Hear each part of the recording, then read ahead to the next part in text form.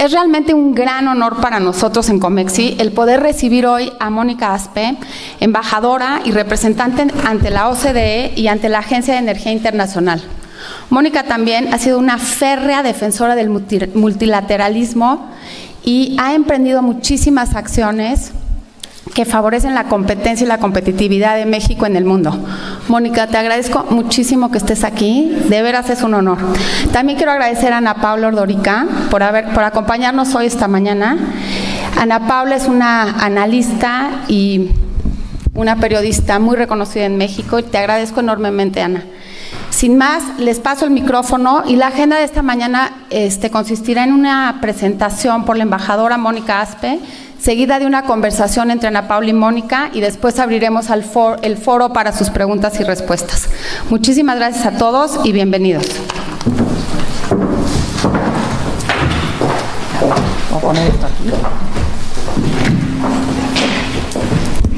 Gracias, Mariana.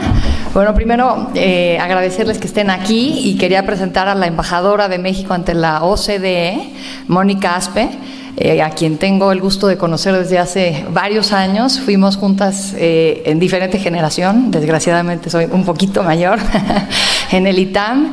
Es licenciada en relación, ay no, yo soy en relaciones internacionales, Mónica es en economía, ciencia política, ciencia política en el ITAM.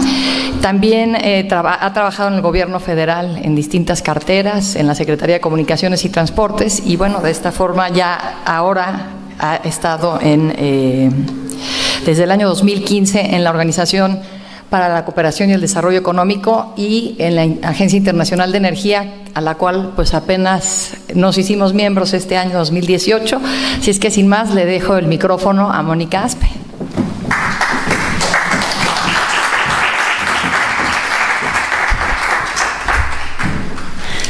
Muchas gracias por la invitación, muy buenos días. Yo voy a hacer una presentación y luego vamos a, platicar con Ana Paula y con, ustedes lo que quieran preguntar, comentar.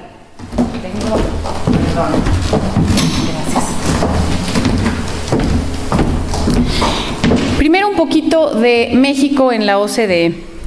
Y la historia es importante porque la organización ha cambiado enormemente y por lo tanto nuestro papel dentro de la organización y la utilidad que tiene para México lo ha hecho también.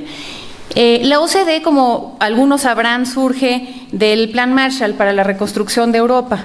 Se juntan Estados Unidos, eh, Europa y hablan de después de dos guerras devastadoras cómo se va a reconstruir eh, Europa. Y de ahí surge, se establece la Organización Europea para la Cooperación Económica, la OECE e, que eventualmente en 1961 se convierte en la OCDE. Y cuando se convierte en la OCDE, eh, sucede porque realmente el proyecto del, Plan Marshall de Reconstrucción de Europa había llegado a su fin y se dice, bueno, ya estamos aquí y somos los países, las economías eh, que necesitamos ahora pasar a generar las mejores políticas públicas, trabajar por más desarrollo y países convencidos de que tenían ciertos valores en común, like-mindedness le dicen, eh, que pensaban igual en temas de derechos humanos, democracia, eh, de políticas públicas para el desarrollo y se convierte en la organización de las mejores eh, políticas públicas, con una transformación muy importante. Hay al inicio, en 1961, 20 miembros fundadores, poco tiempo después se suman otros cuatro, Japón, Finlandia, Australia y Nueva Zelanda, empieza un proceso de internacionalización de eh, una organización que se va volviendo mucho más global y diversa. En los 90 se, se suman cinco países más, entre ellos México, primer país en desarrollo, economía emergente, y primer país latinoamericano en volverse miembro de la organización. Y después vienen otros siete países. Eh, de América Latina entra Chile, y ahora eh, Colombia acaba de ser aprobado su acceso, se va a volver próximamente miembro, Costa Rica está en proceso de acceso ya por terminar y llevamos un par de años en una eterna discusión muy complicada para el ingreso de otros seis países, incluyendo tres latinoamericanos que son Argentina, eh, Brasil y Perú. Esto es importante porque aquí lo que vemos es una organización que ha cambiado enormemente de una organización europea, a una organización eh, mucho más global y de una organización para la reconstrucción de la posguerra a una organización por las mejores eh, políticas públicas. Y en este proceso viene un secretario general que conocerán, José Ángel Gurría, mexicano, eh, con un plan de internacionalización, de diversificar a la organización y de abrirla al mundo. Y ha sido realmente muy exitoso en ello y lo que hace es empezar distintas estrategias. Por una parte, la ampliación de la membresía que vemos en azul, por otra parte, ahora países en acceso solamente está Costa Rica y un, amarillo chiquito, y los miembros prospectivos, que son seis, con un peso muy importante en América Latina, clave para nosotros, eh, y los socios clave, las grandes economías, China, eh, la India, eh, Sudáfrica, el propio Brasil, que podría tener los dos, los dos colores, Indonesia, algunos de ellos que no pueden ser miembros, porque algunos de los países miembros no estarían de acuerdo en que ingresaran como miembros por este tema del like-mindedness eh, y un poco del examen previo a, volverse miembros, pero que tienen un peso enorme y que por lo tanto pues se quiere acercar a la organización. Lo que vemos aquí es eh, ya de los 20, ya vamos en 37 miembros, 38 con Costa Rica, los seis prospectivos, cinco eh, socios clave y 52 miembros del Centro de Desarrollo. La otra estrategia es tener un órgano subsidiario que preside México, presido yo, eh, en, la organización que tiene 52 miembros, donde 27 son OCDE y 25 no son OCDE. Está Egipto, Marruecos, Vietnam, Tailandia, y esta ha sido una estrategia para que en el mundo se conozca la organización eh, y podamos tener eh, pues una, organización mucho más abierta. Y los programas regionales con un foco de, este, de conocimiento de la organización en estas regiones del mundo y también de sus políticas públicas la identificación de mejores prácticas dentro de la propia organización. Y aquí se ve por qué este proceso es realmente muy, muy estratégico para, para la OCDE. Si vemos, tenemos en el verde el PIB mundial, el azul la población mundial, y el amarillo el comercio mundial. Y si vemos los miembros de la organización, eh, pues no es tan grande, ni se diga en, términos de población, y en términos de PIB mundial cada año se vuelve más pequeña porque crecen más las economías emergentes que no son parte de la organización. Entonces, en términos de mantener su relevancia, ya no habremos de incrementarla, se vuelve fundamental este proceso de, eh, ampliación. En la segunda fila vemos sumando al país en acceso y a los prospectivos, y en la tercera sumando al centro de desarrollo, donde realmente ahí sí vemos que es una organización muy global en todos los continentes, todas las regiones, todos los distintos niveles de desarrollo. Y em, la, OCDE, ¿por qué es importante para México? Ya ha sido muy útil. Desde que entramos en, los noventas, eh, llevamos 24 años, cumplimos 25 años el próximo, el próximo mayo de ser miembros de la organización em, y realmente la hemos usado mucho. La ha usado cada gobierno dependiendo de su programa. Y esto es muy importante. Cada cambio de administración nos sucede que la OCDE se siente un poquito de los de antes, porque todos los gobiernos desde que entramos han trabajado cerquísima de la organización y han puesto en la organización eh, sus proyectos clave y han conocido pues, la opinión de los pares, este proceso de revisión de pares que hace la organización, que es único en el mundo dentro de las organizaciones eh, multilaterales y que la verdad es que es la clave para que funcione bien.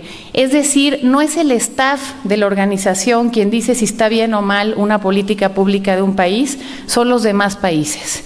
Se escoge a los revisores y pues uno no le tuerce el brazo a Australia y a Irlanda para que digan que nuestra eh, forma de, cambiar nuestro sistema de pensiones está bien o está mal. Ese, eso es clave para la credibilidad de la organización y para la asesoría útil, porque se tienen los expertos de cada tema de los demás países. Em,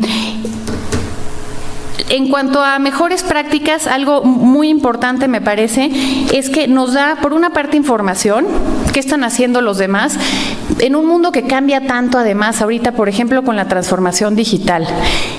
¿Qué hacemos? Sabemos que algo cercano a 16% de los empleos en México eh, van a dejar de existir de los empleos actuales en las próximas dos décadas. 16% del empleo es, realmente estamos hablando de un, un tema que puede volverse una crisis social. Por supuesto, hay también generación de nuevos empleos. Tenemos dónde van a estar, tenemos las capacidades, las competencias de nuestros trabajadores para que esos trabajos vengan a México y compensen los que vamos a perder para ser ganadores netos o vamos a ser perdedores netos. Esta es la organización de donde podemos ver qué están haciendo los demás en algo tan nuevo, en algo donde nadie realmente es una autoridad eh, de muchos años atrás. Entonces, para todas nuestras grandes preguntas de política pública es la organización, yo diría, más útil y se mueve muy rápido. A diferencia del resto del mundo multilateral, se mueve rapidísimo porque basta, hay 240, casi 250 comités y grupos de trabajo temáticos de especialistas. Entonces hay uno para la resistencia antimicrobiana o lo que se les ocurra, eh, cualquier tema de política pública. Y están los expertos de agricultura y del sector salud de todos los países miembro, más los que se suman a los comités, ese es otro tema, es mucho más amplio dentro de los comités eh, que, la, que la membresía, y ahí dice uno, necesito que revisen este, esta política pública que quiero impulsar, cómo lo ven y se hace un examen específico para el caso mexicano en ese tema o para cualquier otro y realmente pues siempre vale la pena preguntar antes que equivocarse. Así es que ha sido muy útil en este sentido. Bases de datos, la negociación comercial eh, con, con, Estados Unidos y Canadá, por ejemplo, eh, la base de datos que se utiliza, TIVA, que es la de valor agregado, se hace en la OCDE. Es muy importante estar y poder ver la metodología, cómo se está haciendo, porque es la base de datos oficial de todas las negociaciones comerciales y se hace en el Comité de Comercio de la OCDE. Y así nos podríamos seguir con la cantidad de cuestiones donde es fundamental estar para ver que estén bien hechas, para ver eh, que no solo estén otros que también tienen sus intereses, sino que nuestros intereses estén eh, protegidos. Va a ser cada vez más útil la organización para México, eso, eso eh, creo yo, creemos, creemos muchos, porque este creciente proceso de, proteccionismo y de aislacionismo en el mundo em, nos lleva a un mundo multipolar, mucho más complejo en cuanto a su, a su gobernanza internacional y donde la amenaza es que las relaciones bilaterales cobran espacio ante las relaciones multilaterales. Y para un país que es vecino de la economía más grande del mundo, somos más fuertes en el contexto multilateral que solos. Nos conviene estar siempre en estas grandes mesas con otros países porque eso suma a la defensa de nuestros, de nuestros intereses. Esta fue la última ministerial que presidió Francia con el presidente eh, Macron y fue justamente la refundación del multilateralismo con un énfasis en cómo eh, fortalecemos una gobernanza multilateral. Y la Agencia Internacional de Energía. La, OCDE tiene tres órganos subsidiarios, el Centro de Desarrollo, que ya lo, mencionamos, eh, la, Agencia Nuclear y la Agencia Internacional de Energía que particularmente esta agencia tiene otro secretario general, tiene su propia gobernanza y es un órgano, yo diría, prácticamente independiente de, eh, la OCDE. El único tema que le consulta a la OCDE, a su consejo, es la ampliación de la membresía. Fuera de eso, eh, todo lo demás es un tema eh, independiente.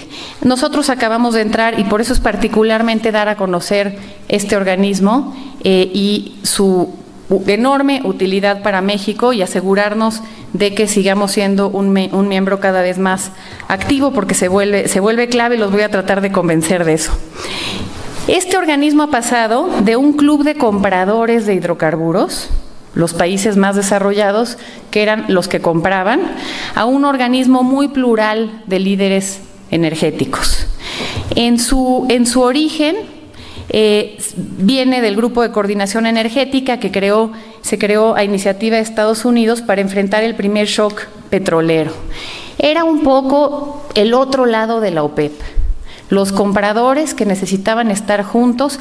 Y cuando pensamos en esa historia, México debía estar ahí en los 70, no. México era un productor neto eh, y México no tenía eh, realmente por qué estar en ese club. Pero lo interesante es lo que viene después y por qué hoy nosotros tenemos que estar en este grupo. Eh, empiezan a formar, a venir muchos más este, países, se crea la agencia, empiezan los programas de colaboración tecnológica con prácticamente todo el mundo, se adhieren nuevos países, vienen los primeros diálogos entre productores y consumidores de petróleo en respuesta a las crisis del Golfo, ahí empieza este proceso de apertura eh, de la agencia, se adhieren otros, otros países eh, más. Em, se crea el Consejo Empresarial de Energía con las 25 empresas más importantes energéticas, que hoy es importantísimo para nosotros. Em, se firma la Declaración para la Cooperación con las Economías Emergentes. Se vuelven asociados Brasil, China, India, Indonesia, Rusia, Sudáfrica. Aquí no hay un principio de like-mindedness como en la OCDE. Aquí cualquiera que sea un líder en el sector energético es bienvenido a acercarse, no hay una revisión en ese sentido eh, de nada fuera del sector eh, energético y por lo tanto estos países vienen porque no son miembros de la OCDE y la convención sigue estando amarrada. Eso es algo que está en proceso de discusión porque estos países asociados pues son fundamentales para el crecimiento de la organización. Y en el 2018 México entra. Después de 25 años de discutir si debemos de ser miembros o no, de diferentes acercamientos, de un rechazo por parte de la agencia, no cumplimos con los términos de almacenamiento hace algunos años y no pudimos entrar, finalmente nos volvemos miembros en este último pedazo en tiempo récord, en dos años, que es el proceso de acceso más rápido después de la reforma energética. ¿Y qué es lo que ha cambiado? ¿Por qué ha cambiado la agencia y por qué si antes no hacía sentido que México estuviera en la agencia, hoy sí hace sentido? Han habido grandes transformaciones en el ámbito energético mundial. Eh, primero, cambios geopolíticos, una nueva configuración de la demanda energética mundial. Aumenta mucho esta demanda, pero además cambia de polo. Se mueve hacia Asia, claramente hacia China, hacia, hacia la India y el peso de los países OCDE, que aquí son azul, se reduce enormemente, enormemente en términos eh, de, la demanda global de energía y crece la demanda en las economías emergentes. Y esto empieza a desdibujar esa línea entre los productores y los consumidores y empieza a cambiar la naturaleza de la Agencia Internacional de Energía. Aquí lo vemos Em, esto es el cambio de la demanda agregada. Se toma 2016 como año base y se dice, ok, ¿cómo vamos a estar en el 2040? Estados Unidos menos 30% en su demanda energética. Vemos el crecimiento de, eh, América Latina, eh, el crecimiento de India y China es absolutamente espectacular y el cambio global es eh, enorme y el cambio, por lo tanto, para la agencia también, también lo es.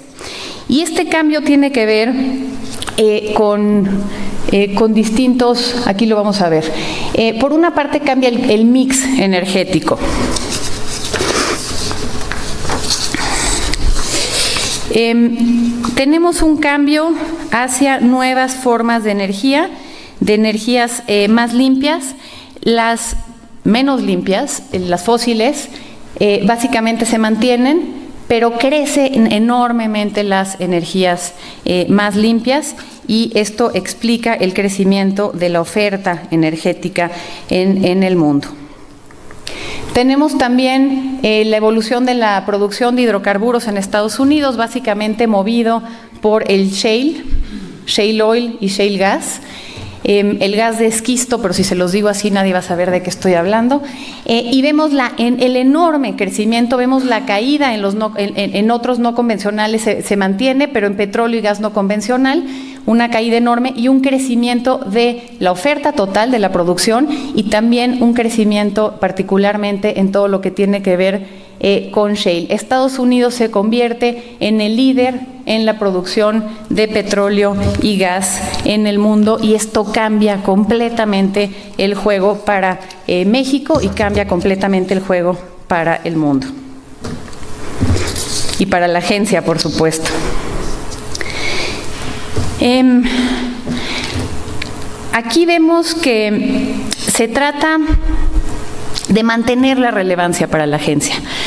Es un poquito parecido a lo que vimos en la OCDE. Para mantenerse del mismo tamaño tiene que crecer, porque los países OCDE, que son los países, varios de ellos miembros de la agencia, se empiezan a reducir dentro eh, de, digamos, del market share, del mercado eh, global.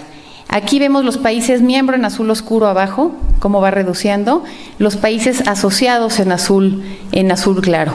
Sin los países asociados, que son China, la India, Brasil, etcétera, la agencia realmente se convendría en una organización, eh, yo diría, marginal, y por eso el papel de México es importantísimo porque la agencia nos necesita a nosotros. No solo nosotros necesitamos a la agencia, sino que la agencia toma a México, primer país latinoamericano, primera economía emergente, que se convierte en miembro y nos toma realmente, fue para la agencia una, una fiesta este, nuestro ingreso, nos toma realmente como el ejemplo, como el líder y como el vínculo con las economías emergentes porque otros no pueden ser miembros. Y no pueden ser miembros porque o tienen malas políticas, nosotros entramos gracias a, que hicimos la reforma energética, o porque eh, no son miembros de la OCDE y no se ha quitado ese candado. Entonces nos volvemos una pieza clave y eso nos da mucho poder dentro de la organización y eso hay que aprovecharlo. México es líder ante los países eh, asociados y latinoamericanos. Aquí vemos que la interacción de la agencia con el mundo es enorme, no la membresía, pero sí la interacción. Estos son todos los países con los que tiene programas de colaboración tecnológica.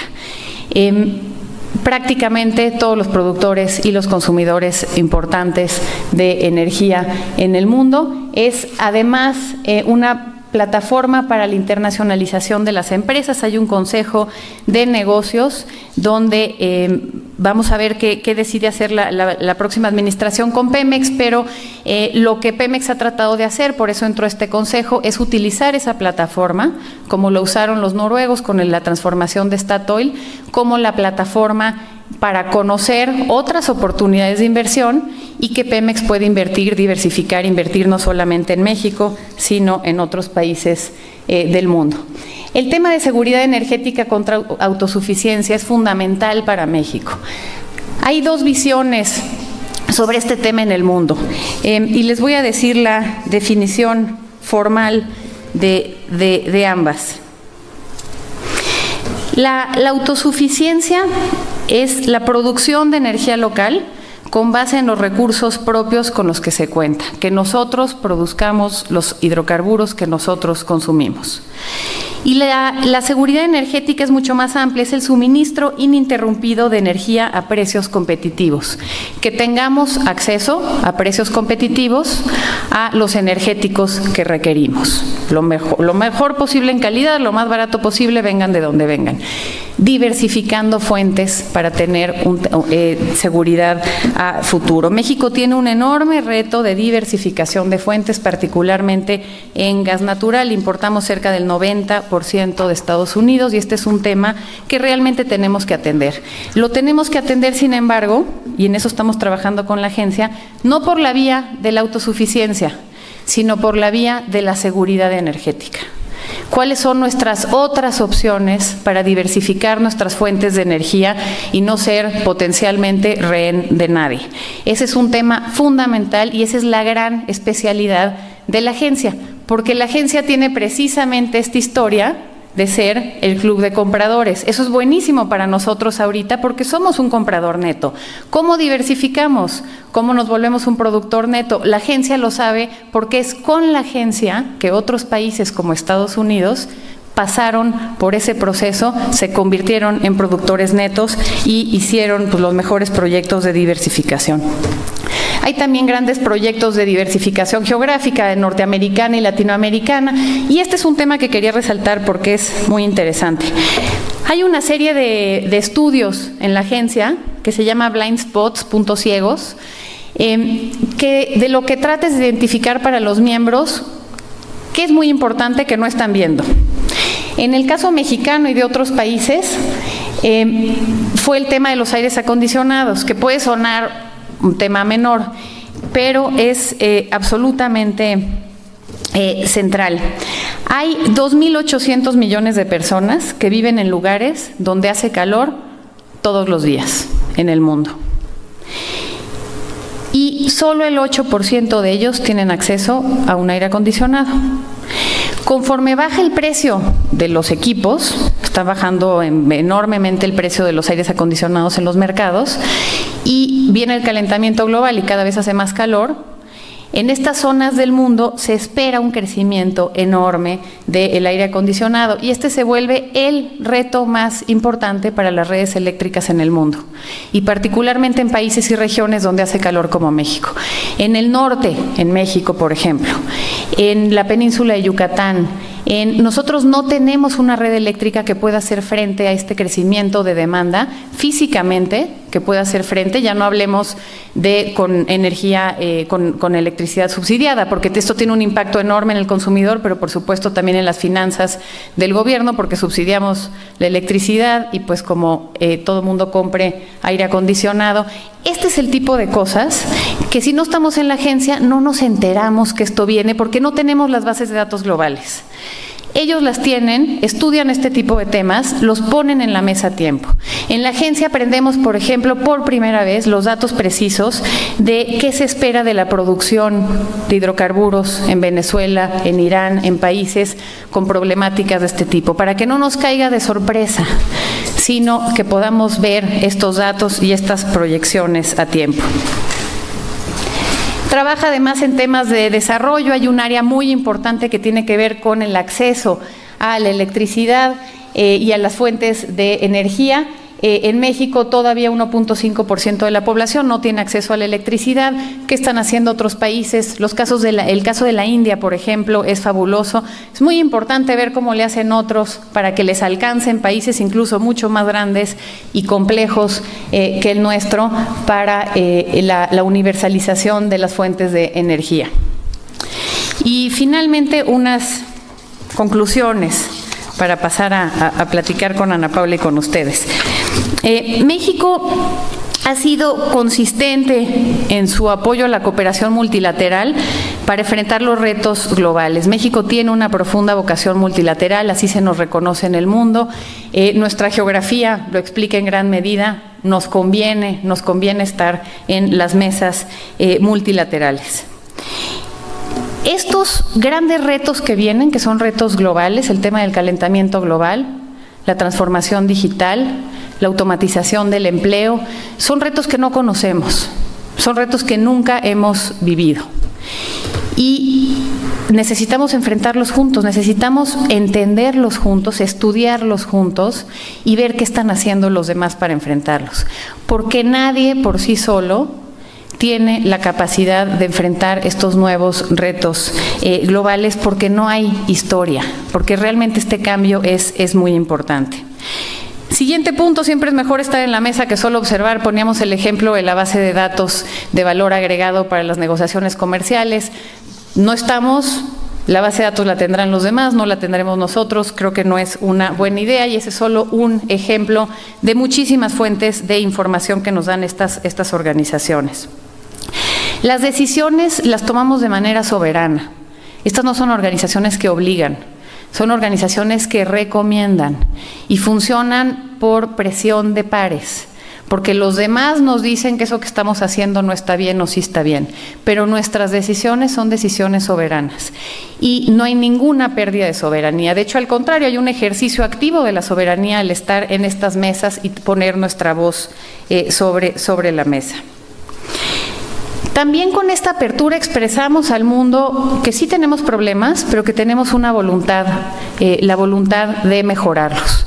Esconder nuestros problemas no es una buena idea, cerrarnos no es una buena idea, hay que abrirnos al mundo, reconocer nuestros problemas, porque esa es una palanca de transformación. Y un México abierto al mundo, abierto al escrutinio internacional, aunque a veces sea incómodo, es un México mucho más fuerte y mucho más legitimado para eh, tomar el liderazgo regional e internacional. No hay liderazgo global sin apertura. Eso me parece que es muy claro y el mundo está tomando, los países están tomando posiciones eh, y todo el mundo está observando qué hacen los demás en cuanto a su rol en el multilateralismo en este momento de transformación. Y a mí me parece que es fundamental que sigamos siendo igualmente miembros activos de estas, de estas organizaciones. Muchas gracias.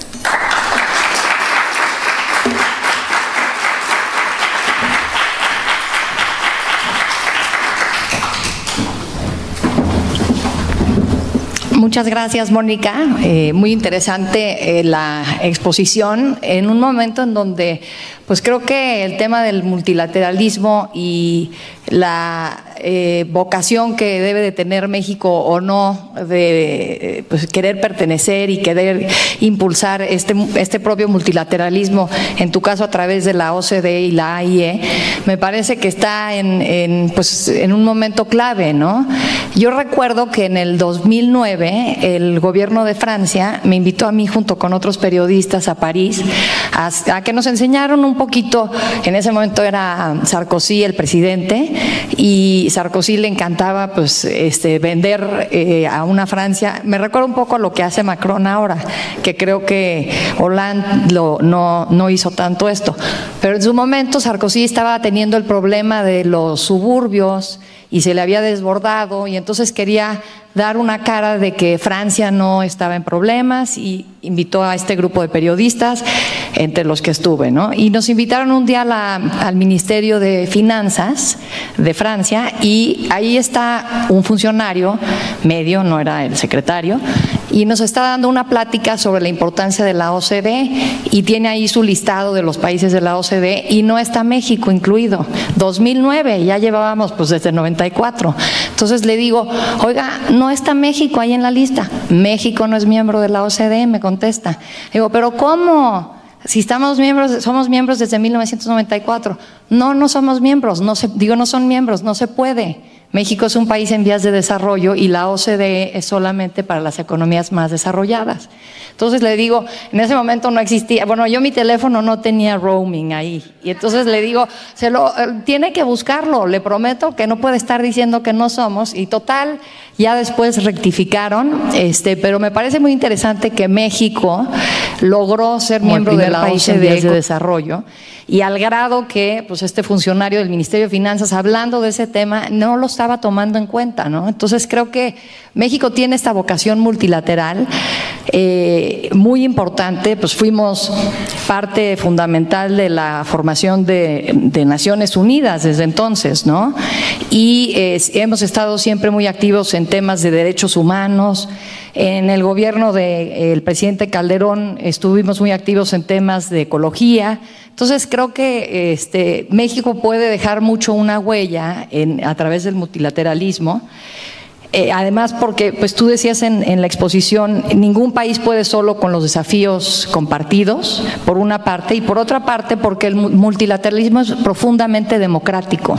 Ahí todos los países, digo, fuera de que si unos son miembros permanentes del Consejo de Seguridad o no en la ONU, pero de alguna manera todos los países este, tenemos un peso este, equilibrado, digamos, eh, no, no, tomando en cuenta pues, eh, que si hay unas este, enormes potencias para otros temas, ¿no?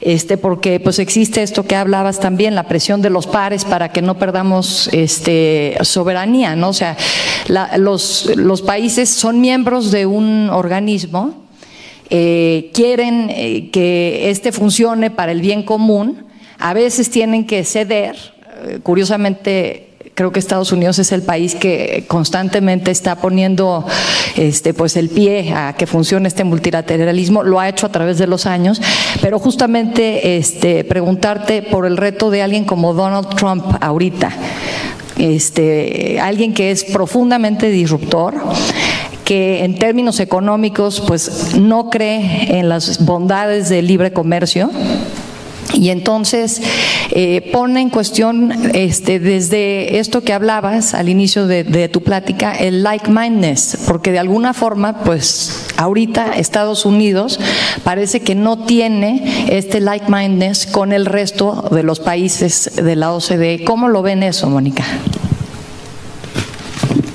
Gracias, Ana Paula. Bueno, eh, por una parte, quizá por eso Sarkozy se religió.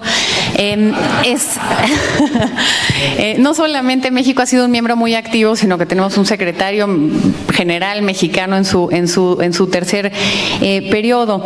Em, un punto sobre la membresía de México es que no solamente es importante el mensaje que mandamos al estar, al ser miembros de la OCDE, al ser miembros de la Agencia Internacional de Energía, sino que mandaríamos un terrible mensaje de dejar de estar, porque hemos estado, hemos estado presentes y activos eh, todas estas, estas décadas y ya que está uno ya no es lo mismo no estar. Ya estuvimos. Entonces la decisión es muy distinta que la decisión de origen eh, de entrar, entrar o no, lo cual yo creo que entrar fue absolutamente acertado. Em, hay temas, desafíos globales que tienen que ver con digamos, yo veo dos grandes posiciones. Por una parte vemos, por ejemplo, al secretario Ross de los Estados Unidos, que va a la última ministerial eh, de la OCDE y dice, quiero ser claro, Estados Unidos prioriza las relaciones bilaterales sobre las relaciones multilaterales. Eh, esta es una organización eh, creada en gran medida con el Plan Marshall, iniciativa de los Estados Unidos. Entonces, eso, eso claramente marca un, un momento eh, pues de reflexión profunda, no sé si decir de crisis, sobre eh, la naturaleza de estos organismos eh, multilaterales. al mismo tiempo, vivimos tiempos muy complejos y hay retos que están más allá de cualquier país, por ejemplo, el de la migración. Eh, claramente cambio climático, que tú mencionaste el tema de medio ambiente, el tema de la transformación digital, también el de la migración. Eh, la OCDE estudia, no tiene un posicionamiento político sobre la migración, estudia la migración, genera datos sobre flujos de migrantes y genera algo muy importante que es estudia el impacto de los migrantes en las economías. Y sabemos, gracias a la OCDE, por ejemplo, que un migrante genera tres veces más PIB que un no migrante en promedio en los países OCDE. Ese es un dato fundamental para discutir la migración. Eso fortalece a México saber eso en nuestras negociaciones internacionales. Entonces, desde mi punto de vista, México necesita ser parte, no nos debilita lo multilateral, nos fortalece. México necesita ser parte de algo más grande para eh, poder negociar, para poder enfrentar un mundo tan complejo y un movimiento claramente hacia lo bilateral. Lo bilateral bilateral en el corto plazo le conviene al fuerte, en el largo plazo yo creo que no le conviene a nadie, pero en una negociación en el corto plazo le conviene al fuerte. México en muchas de esas mesas no es el fuerte, nos conviene ir juntos y en el caso de la OCDE vamos con las economías más grandes, más grandes del mundo y no exclusivamente, ese es el otro tema.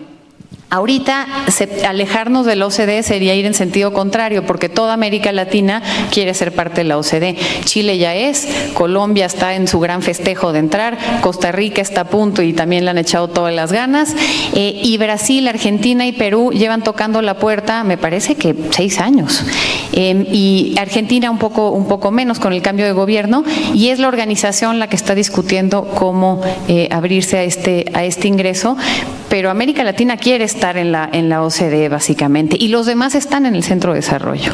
Entonces, este, ya no somos el único emergente, el único latinoamericano que está ahí, fuimos el primero, pero le hemos abierto la puerta a los demás. Ahora, eh, bueno, creo que este es claro para quizás los que estamos aquí sentados por qué para México debe de ser una prioridad la defensa del multilateralismo. Pero tú ves un riesgo, por ejemplo, en el nuevo gobierno que llega a México, que claramente ha dicho que viene a eh, promover una cuarta transformación, que claramente ha criticado el, el modelo económico que ha seguido México a lo largo de los últimos años, que quisieran alejarse de este mundo multilateral? Bueno, yo confío en que van a conocer estas organizaciones eh, y ver em, que son organizaciones que proveen datos, que proveen información y que son organizaciones que también se adaptan a lo que quieren hacer los gobiernos. Entonces, eh, también hay una oportunidad muy grande para la nueva administración, como para cualquier eh, gobierno de México o de cualquier otro país miembro, de em, poner no quiero decir a prueba, pero poner en conversación con otros eh, precisamente las políticas públicas que se quieren impulsar, tener acceso a esos datos, a la opinión de otros países. Eh, cuando se habla del modelo eh, neoliberal, mencionaste el modelo económico, me parece, también hay que pensar que la OCDE tiene dentro de sus países miembros, países de derecha, países de izquierda, países un poco de todo. Están los presidentes, los primeros ministros más progresistas del mundo. Está la primer ministra de Nueva Zelanda, que es eh, muy apoyadora de la OCDE eh, con todo su tema de bienestar. En fin, en la organización caben distintas visiones. Se trata de una plataforma que yo estoy segura que sabrán aprovechar. Y el otro punto se ha hablado, ayer hablaban de autodeterminación, se ha hablado eh, de la parte, digamos, de soberanía. esa soberanía se ejerce en los foros multilaterales.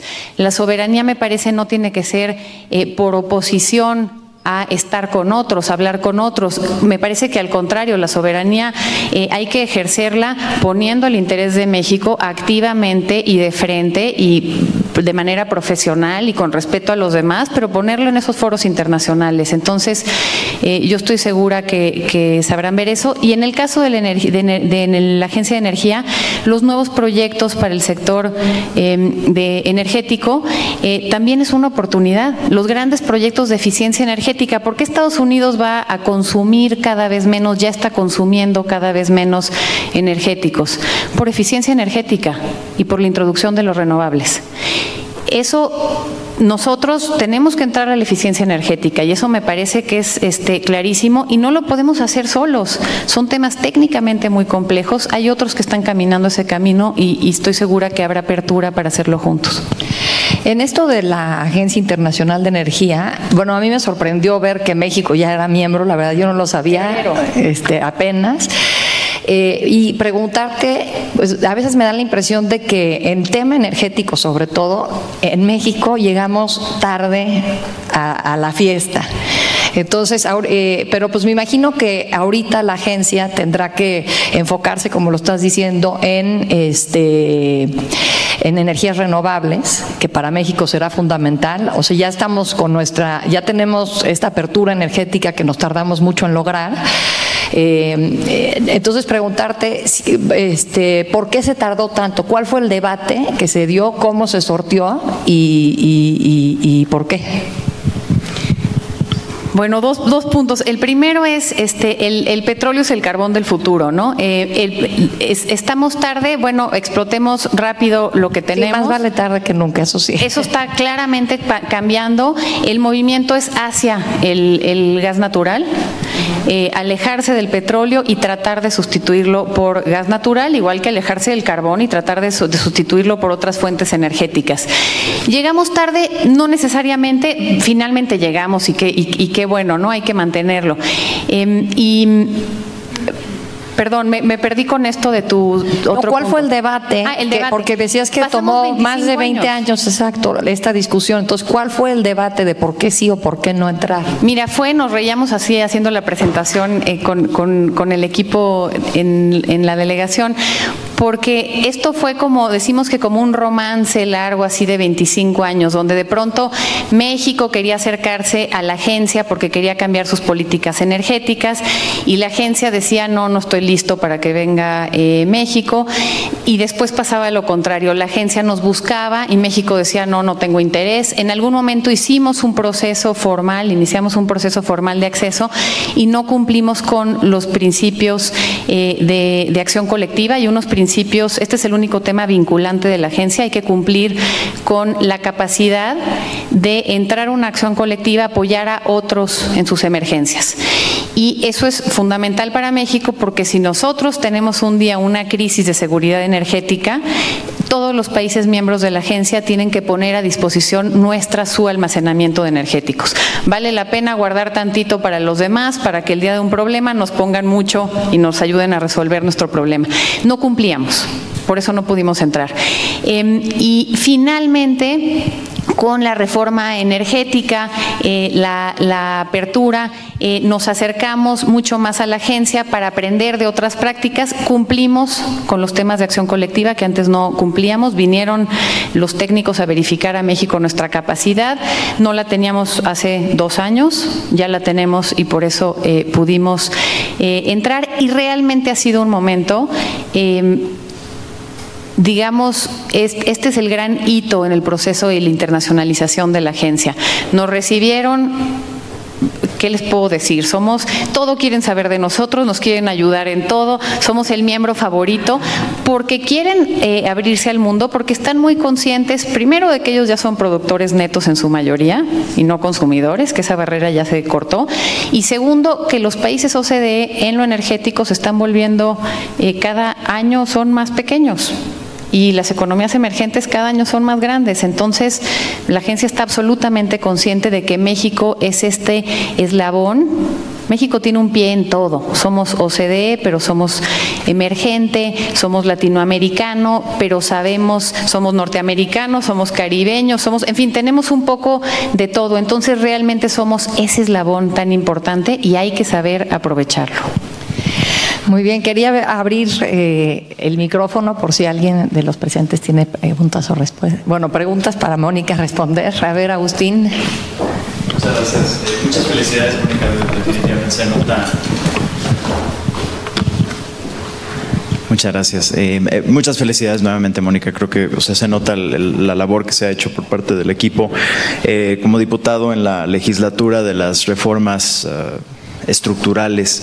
Eh, me tocó vivir muy, muy de cerca la participación de la OCDE este, y las grandes aportaciones que tuvo específicamente en temas energéticos. Em, hay, hay un tema en donde em, creo que hizo falta un poco más de visión, que es el tema recaudatorio. Em, la OCDE ha sido demasiado insistente desde mi punto de vista eh, en el tema recaudatorio y de hecho participó en el, en el asunto del incremento de impuestos que, que, hubo, que se llamó la reforma fiscal. Antes de, antes de, de, entrar en, más, en, el tema de la eficacia y la eficiencia del gasto. De hecho, a nosotros nos vendieron un poco la idea de que el, el efecto multiplicador, ¿no? keynesiano, por llamarlo de una manera, de ese incremento de impuestos que se, que se aprobó yo no voté a favor, pero muchos sí, este, eh, que se aprobó iba a ser de 1.4, ¿no? Entonces cada peso que se retiraba de la economía se iba a multiplicar por 1.4, esos fueron los estudios que se nos mostraron. Em, eventualmente, la razón por la cual México no creció con los niveles que, nos habían dicho desde de parte precisamente de la Secretaría de Hacienda, es que el efecto multiplicador acabó haciendo, según un estudio que vi con Leo Zuckerman, este, de 0.6, es decir, cada peso que recaudaste eh, eh, eh, desapareció 40% de su impacto en la economía. fue más que multiplicador, fue multiplicador, pero por menos de uno, pues. Entonces, me preocupa el, el, énfasis que ha tenido la OCDE en este tema sin haber abordado los temas de eficacia y eficiencia en el gasto gubernamental primero. Este, y eso es algo definitivamente que creo que tenemos que tener muchísimo más, muchísimo más este, eh, enfoque sobre eso. Em, habiendo dicho eso, este, reitero la felicitación. Gracias, me encanta este comentario porque es normalmente escuchamos lo contrario cuando no se conoce a la organización. Em, en el tema específicamente recaudatorio, por ejemplo, eh, teniendo una mayoría europea, es un país, digo, una organización que tiende a estar un poco más eh, hacia el, lado del incremento de los impuestos, porque México tiene una recaudación mucho menor que, los países europeos. Así es, ser críticos y otra vez tomamos nuestras propias decisiones, ellos dan su, eh, su opinión. A mí me tocó la reforma de telecomunicaciones, así es realmente como conocí a la OCDE y ese es un caso donde su participación fue eh, fundamental y fue esa palanca que puso de acuerdo a visiones tan distintas. fue una reforma de unanimidad, siendo que eh, pues ahí sí hay intereses para un lado y para el otro y, todo mundo acabó apoyando y los resultados han sido, me parece, eh, fantásticos, pero es cierto que se vale matizar y justamente este tipo de comentarios, eso es lo importante. Eh, somos soberanos, tomamos nuestras decisiones, pero vale la pena estar, vale la pena escuchar y vale la pena también criticar y proponer cuando no estamos de acuerdo. para eso estamos en sus fundamental y órganos de, hecho, telecomunicación fue, como tú dices, este, por unanimidad. Me tocó la votación tanto en comisiones como en este, como en el pleno y efectivamente fueron eh, comentarios y observaciones y aportaciones, mejores prácticas invaluables definitivamente. A mí me encanta el trabajo sobre productividad de la, de la OCDE, yendo un poco a lo que tú dices, y particularmente ahorita está trabajando mucho la organización en por qué no vemos eh, un impacto de la tecnología en la productividad. Todo mundo, y pues la teoría económica dice que los cambios tecnológicos ¿no? nos van a ayudar a ser más productivos, y sin embargo con la digitalización no ha sucedido, por lo menos en la forma en la que medimos productividad. Eh, se digitalizan las economías y mantienen, no, hemos visto crecimiento de la productividad. Eh, ese es el tipo de grandes preguntas donde yo creo que vale la pena estar cerca de la organización y hay que estar allá y hay que estar cuestionando, no necesariamente dando por bueno todo lo que nos dicen. Em, tenemos mucho que aportar. Por ejemplo, en informalidad es otro tema eh, que a veces le pasa de largo a la organización porque sus países miembros mayoritariamente dicen informalidad y pues para nosotros es la mitad de la economía, ¿no? Y para muchos de ellos no. Esos temas son más nuevos en la organización, ya se trabajan, pero justamente hemos estado para recordar eso y por eso hay que estar, porque nosotros vemos las cosas desde nuestra realidad que es distinta que muchos de los miembros históricos.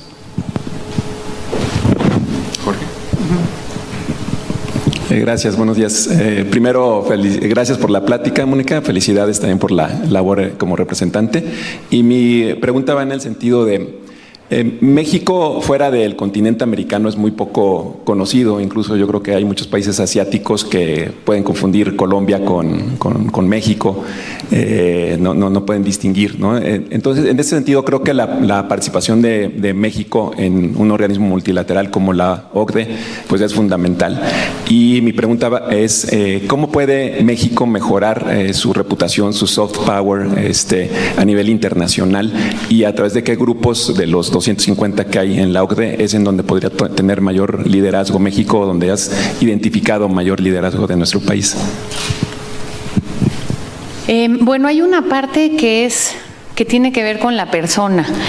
Em, en cada comité tenemos un representante y varía por una parte el interés del país, las fortalezas del país, pero también importa mucho los buenos funcionarios. Em, y ahí no es viaje de Digo porque yo los veo, los recibo ahí y se sientan 12 horas diarias en un comité a trabajar como locos, van dos días y se regresan, eh, con terribles, muy pocas excepciones que no voy a nombrar. En general son trabajadorcísimos, van los buenos, etcétera. Depende mucho de la calidad del funcionario. Em, en, los casos eh, en los temas de economía digital hemos sido líderes, por ejemplo. Em, en los temas de pymes hemos sido líderes, en general en los temas comerciales. El secretario Guajardo ha estado involucradísimo y eso le ha dado un empuje a nuestra participación en el frente eh, comercial y, de pymes y demás. En eso estamos muy metidos. Em, en general, la Secretaría de Hacienda lo mismo muy consistente nuestra participación, muy profesional, nos va muy bien. En los grupos de, cohecho anticorrupción, eh, ahí es función pública, es también auditoría superior, em, son los gobiernos de los estados, donde hay mucha más diversidad, hay unos de primera, hay unos más o menos, digo en términos de no de opiniones, sino de porque la, representación implica ser profesional, ¿no?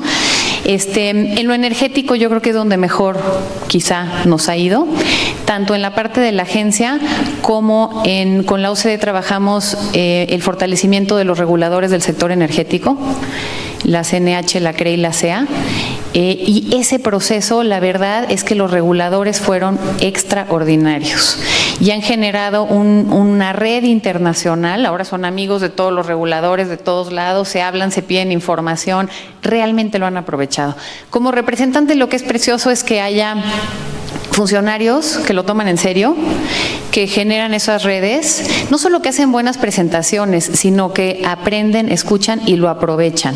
Y la verdad es que eso es un, gusto. En el caso de CENER, que me ha tocado mucho por la entrada a la agencia, debo decir, el secretario eh, eh, Pedro Joaquín, no sé si es parte de esta plática, pero eh, trabaja como he visto a, pocos, me pide mi oficina para más reuniones, no duerme un minuto y lo, realmente lo aprecian, ha generado una red fantástica eh, dentro de la, de la agencia y con las empresas y pues eso es lo que hace valioso el trabajo.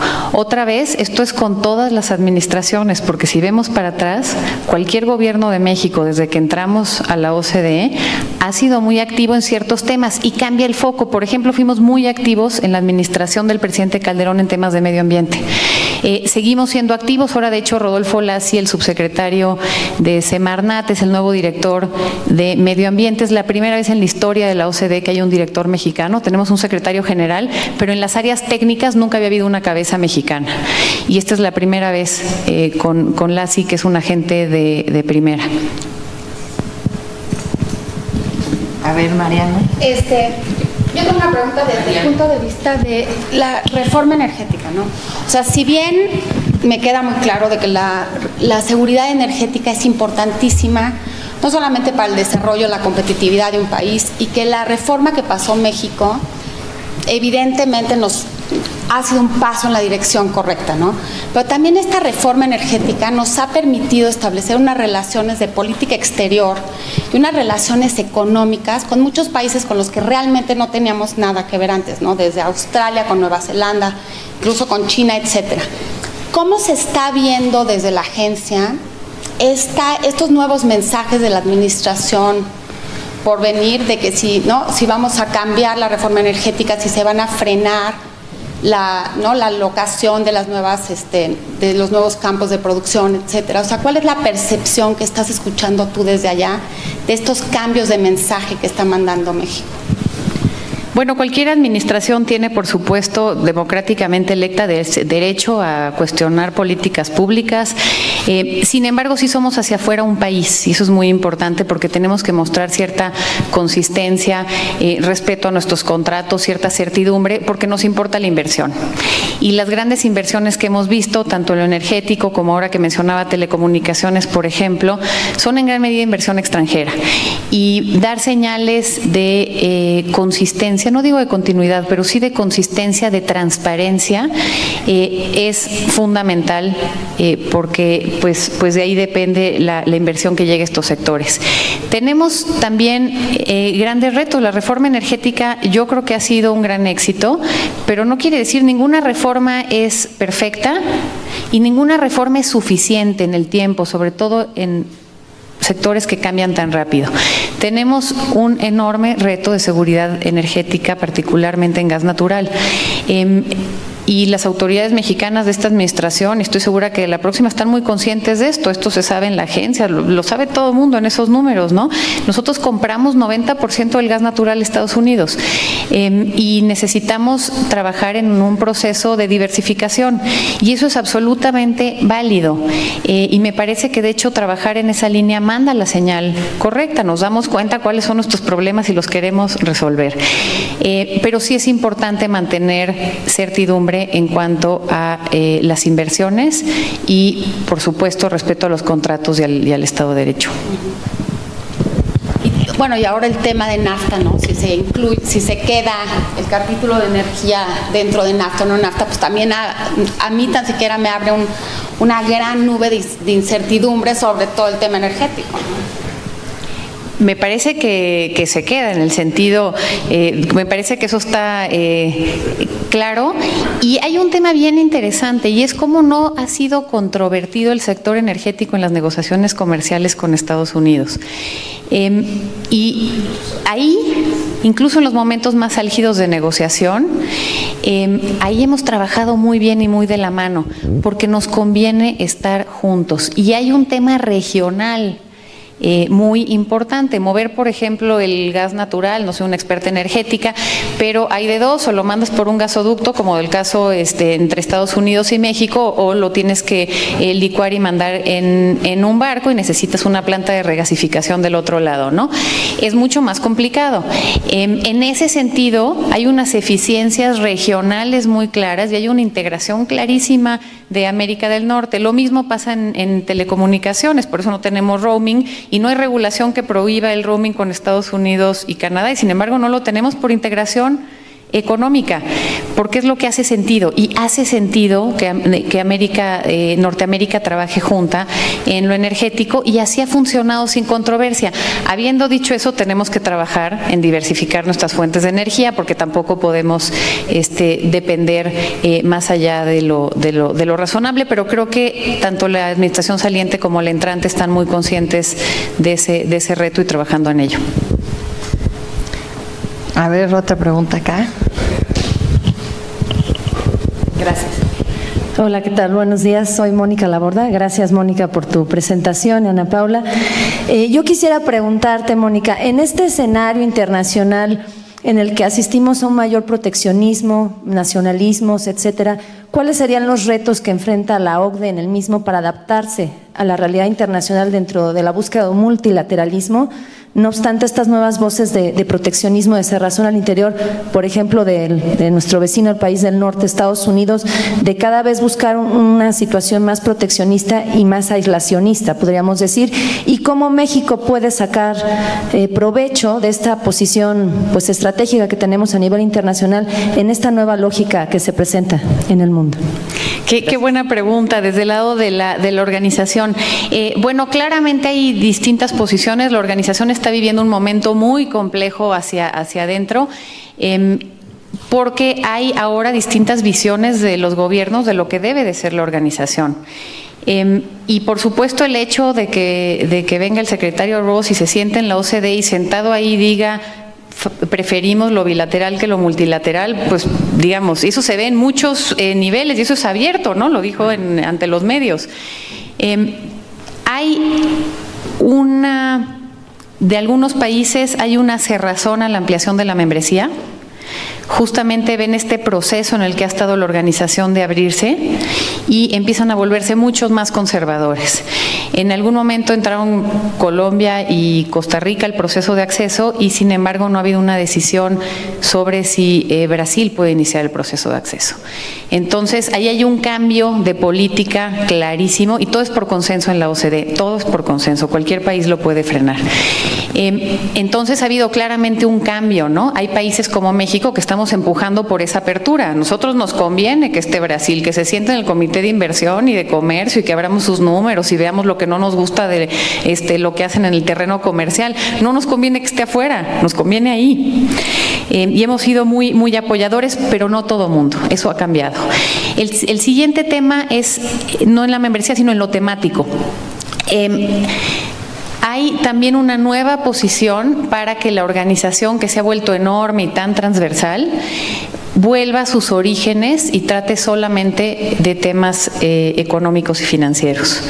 Eh, y hay países como México para los que sería un error enorme, porque el hecho de que sea tan transversal, y hay todo, hay comités de educación y de salud y etcétera, eh, nos permite, por ejemplo, en la transformación digital, tener una organización que puede estudiar lo que está pasando transversalmente, porque esto es un problema o un reto, no un problema, es un reto para el empleo, por lo tanto para la educación y la formación, por lo tanto para los sistemas de protección social. ¿Qué va a pasar en Estados Unidos con dos millones de camioneros en sus 50? Ahora que en un par de años entren los autobuses que se manejan solos. Eh, y en México muchos temas parecidos. Eso tiene que ver con protección social, los vamos a jubilar, a pensionar, ¿qué vamos a hacer con ellos? ¿No van a volver a trabajar o los vamos a reeducar? Tiene que ver con el sistema educativo, tiene que ver con el mercado laboral. Necesitas una organización muy transversal para estos nuevos retos. Medio ambiente tiene que ver con lo energético, tiene que ver con la economía, tiene que ver con eh, la inversión, tiene que ver con los mercados de carbono, pues con los subgrupos financieros. Entonces, la transversalidad de la organización es lo que le da la relevancia y el impacto.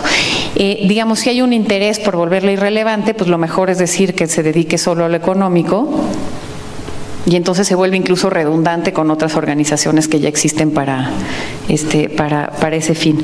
Y finalmente el presupuesto. Hay, por supuesto, este, batallas, siempre se pelean en lo administrativo, ¿no?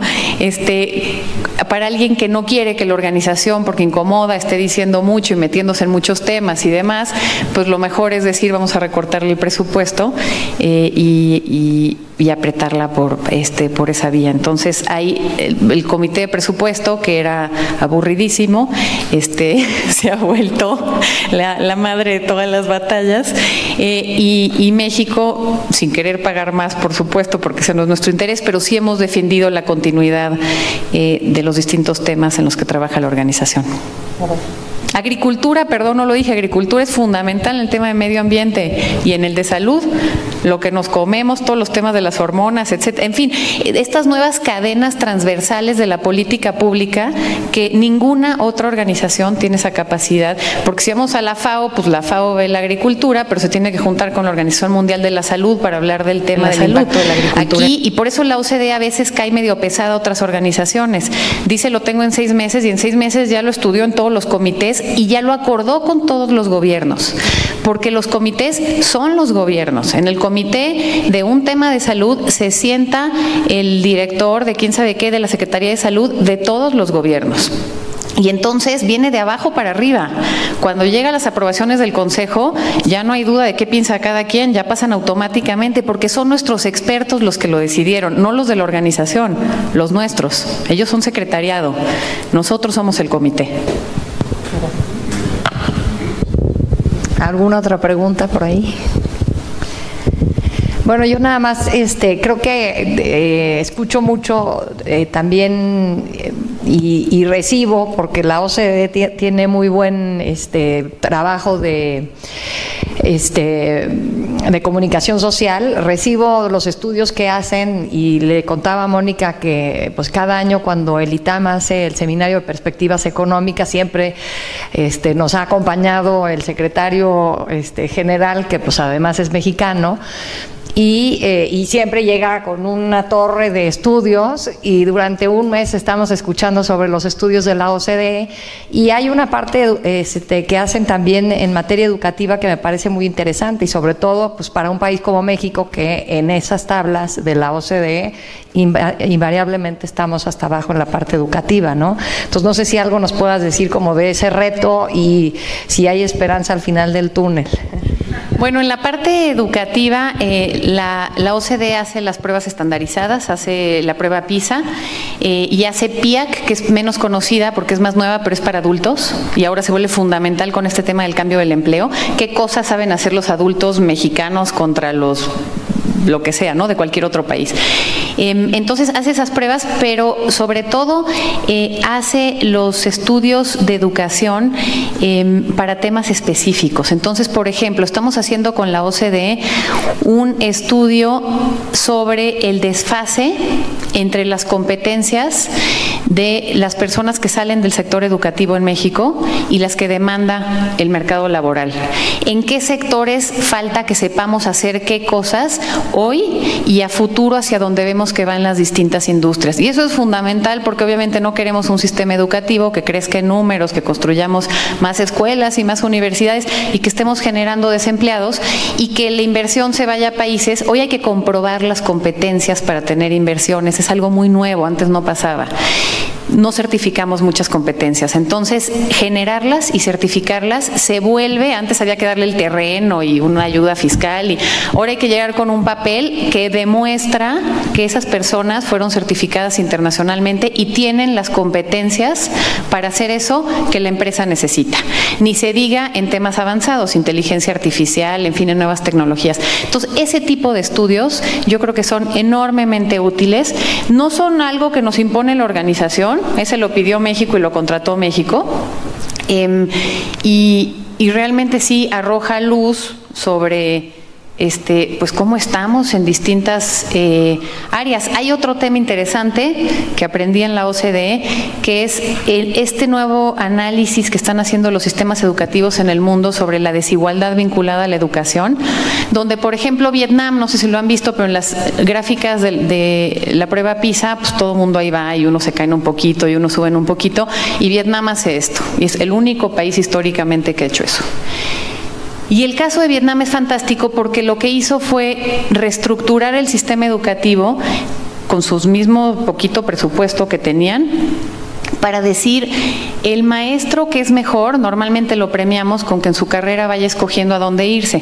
Entonces, el maestro mejor en la Sierra de Chiapas se puede ir eventualmente a Tuxtla Gutiérrez y como era muy bueno se puede venir a la Ciudad de México y como era muy bueno se puede venir a la mejor zona de la Ciudad de México. Y esa es nuestra máquina de desigualdad. Em, y eso en México y en todos lados. Los franceses están analizando su sistema educativo como máquina de desigualdad también. Los, en Vietnam hicieron exactamente lo contrario. Dijeron, el mejor gana más, pero se va al peor lugar. Entonces, los mejores maestros a las zonas peligrosas, lejanas, marginadas, eh, y lo que están haciendo es que automáticamente están levantando ese piso con los mismos recursos, pero es un tema interesantísimo que si no estamos, pues no lo vemos y es una de estas grandes preguntas sobre nuestra la, estructura, porque la desigualdad parece ser que tiene que ver con que hay ricos, ¿no? Y hay pobres, ¿no? Tiene que ver con estas máquinas institucionales, con sistemas que generan desigualdad. Y la educación es uno de esos rincones y estar ahí para ver lo que están haciendo los demás, pues es fundamental y para ver cómo nos va nosotros también con nuestro nuevo modelo educativo. Y, y en esta desigualdad también la parte de género, ¿no? Que también creo que han hecho algo que tiene que ver con este incentivar a que las mujeres, por ejemplo, estudien ciertas materias que lo natural es que no se acerquen a ellas, ¿no? En género se ha trabajado mucho, es una prioridad clarísima de la organización. Además, personalmente, Gabriela eh, Ramos lo ha empujado mucho.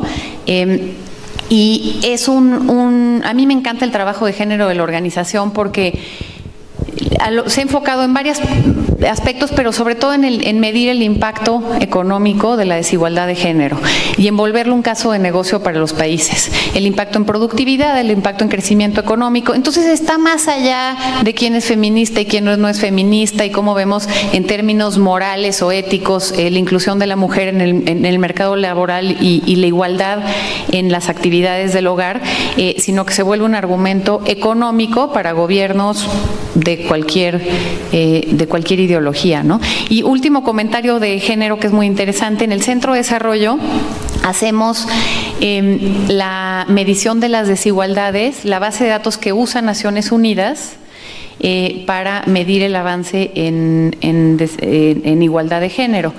Y, por ejemplo, se mide, es la única base de datos que existe para eso en, el mundo, eh, matrimonios infantiles, violencia doméstica, eh, diferencial entre la educación de las niñas y los niños, no solo por grados, sino por apoyo familiar, tipo creencias, eh, la idea eh, de, mm, este, cómo, se cómo percibe una familia tener una hija versus tener un hijo, eh, el incentivo a no tener una, una, hija que se sabe que es mujer contra un hombre. Todas esas cosas que tienen que ver con normas sociales las mide el, el Centro de Desarrollo y eso es lo que usa Naciones Unidas para medir el avance en los objetivos de desarrollo sostenible en la parte de género. Mónica, pues muchísimas gracias por eh, tu presentación. Nada más un, ah, una más. un comentario más abonando al tema educativo. Em, en consecuencia de la reforma educativa que sale el nuevo modelo educativo, eh, creo que poca gente sabe que México se posiciona en el segundo lugar en el mundo. Eh, la OCDE saca un estudio en el 2015 hablando de habilidades socioemocionales y México se posiciona en el segundo lugar al sacar una currícula nacional de habilidades socioemocionales. Nosotros en nuestra organización participamos junto con otras cuatro organizaciones de la sociedad civil en el desarrollo de esa currícula y con Naciones Unidas y con SEP Media Superior estamos desarrollando e implementando esa currícula en todo el país. Entonces, es algo que creo que poca gente sabe, el hecho de que después de, después de Singapur, México está posicionado en el segundo lugar en el mundo. Y bueno, y es mucho más grande. Y creo que es algo que, que, poner en la mesa y, defender hasta Qué bueno que lo, que lo digas. Es un, este, un tema que, con el que en este momento hay que ser cuidadosos por la discusión en torno a la reforma educativa pero finalmente me parece que no tenemos que ver la reforma educativa, tenemos que ver el sistema educativo, cómo está hoy en este corte, qué cosas hay que continuar y qué cosas no. Y uno que hay que continuar es precisamente el tema de competencias socioemocionales en el nuevo modelo educativo, que a futuro lo que vemos es que necesitamos competencias en lo digital, competencias técnicas y competencias socioemocionales. Con la automatización que necesitamos, pues lo que nos hace gente. Eh, y eso tiene que ver con trabajo en equipo, eh, con eh, autoestima, con capacidad de adaptación, exactamente. Sí, es muy interesante que finalmente Heckman, nuestro, bueno, uno de los premios Nobel de Economía, apunta que inviertes un dólar en, educar a, los niños desde preescolar en estos temas y te ahorras a la larga 4 o 9 dólares en los años 30, o sea, cuando tienen más o menos 30 años. ¿Por qué? Porque estás eh, invirtiendo en prevenir adicciones, este, violencia, etcétera. Entonces, se sabe hoy en día que el aprendizaje socioemocional es tanto, o, sea, igual o más importante que el cognitivo. Entonces, creo que eso está fantástico porque además este, la OCDE mide justamente el retorno de inversión en educación. Y lo que se ve, esta discusión la hemos tenido en la casa, este, lo que se ve es que el retorno de inversión de la educación preescolar es mayor que básica, básica es mayor que secundaria, secundaria es mayor que prepa y la universidad es muy chiquita, el retorno de la inversión social, de la inversión de, de dinero público, donde nos conviene invertir más, donde tenemos que ver no solo universalidad, sino calidad, es el acceso a un buen preescolar y a una buena primaria. Ahí está la igualdad. Lo demás... Ahora sí que es lo de menos en el sentido de que se va resolviendo de manera mucho más sencilla. Pero los huecos emocionales y cognitivos que deja una mala educación primaria, eso eh, a, la larga es este, el lastre más grande, no solo en lo humano, sino para la productividad de las economías. Así es. Gracias. Gracias. No sé si hay otro comentario por ahí. ¿Qué decía Pedro sobre la Esa la platicamos ahorita. Es un apoyador de las becas. Con lo cual me da mucho gusto, pero yo, yo abogo por, por los niños de la educación básica. Pues otra vez, Mónica, muchísimas gracias. Bueno, primero también gracias a Comexi por organizar este, este encuentro. Qué bueno que pudiste venir a México y hablar de este tema este, en un momento, pues creo que de muchos cambios en el mundo y en México. Así es que gracias otra vez, Mónica. muchas gracias.